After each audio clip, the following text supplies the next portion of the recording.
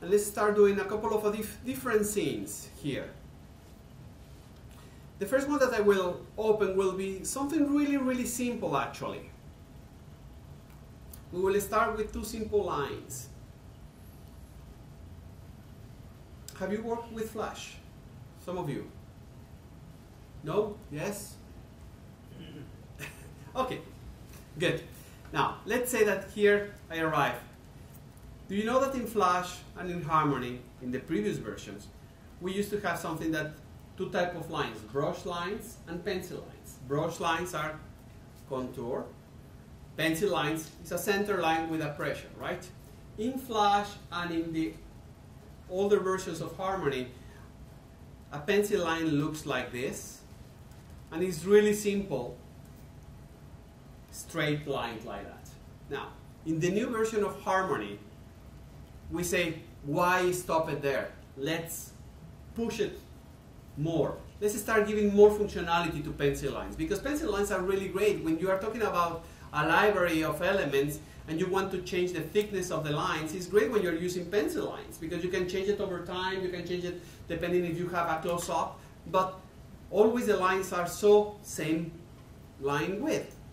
Let's break that and let's start doing a little bit more things. For example, we go here to the tool properties and the first thing that I will do here with the pencil line is I will change the type of ending on the pencil line. Is that now the pencil line is not rounded ended, now it's a square. Or I can put round again and a square on the other side.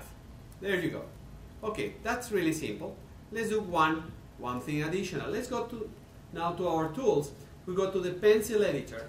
And here into the pencil editor, we select and we add control points here. And actually, we can start manipulating the pencil line like this. Let's add a little bit of pressure like this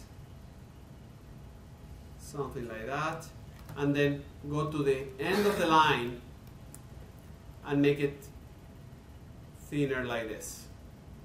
We can actually control how do we want to have the tip end. And we do exactly the same here on the other side. Either we go like that and we change a little bit this on both sides. There we go. You can manipulate one single side. You can manipulate both sides. Like in this case, I can manipulate just this side, or I can shift and manipulate both sides together. It's really simple. And now we have a pencil line that if we select our another tool, the contour editor, actually we can just come here and start bending the line. And now we're bending a pencil line directly with pressure information. Now with this, I can create a really nice shape lines like this. And if we select the line, let's go one step forward. Let's, let's add something additional to the lines. If I select the line, I can come here and I have a lot of textures. And now we can apply a texture to the line. Now we have a pencil line that has actually a texture on it, and we can manipulate the pencil line, and the texture automatically will be preserved. And we can change the thickness of the line, we can change the shape of the line. That makes, that makes your, all your, uh, your models have a new way of working because you now you can have one single model, character model, with pencil lines that you can control the different line thickness and you can do the close-up. You don't need to have any more different levels of models, depending if it's a close-up or a long shot, or if you're going to do a tracking into the camera, you are actually, you can control this line thickness directly over time with the system. Now, if we use this concept with this, you have these lines. Let's go to another, to, a, to another drawing here we have this drawing of this superhero. It's done with pencil lines. Now we can change that lines and let's say that we go, we can have it with different pressure. And actually you can just select that. Select the pencil line, select copy, that style of lines, go to this one, and paste it. And actually, I can select here all this, and I say paste, and I, now I have the paste with the different line thickness all around. It's really, really simple.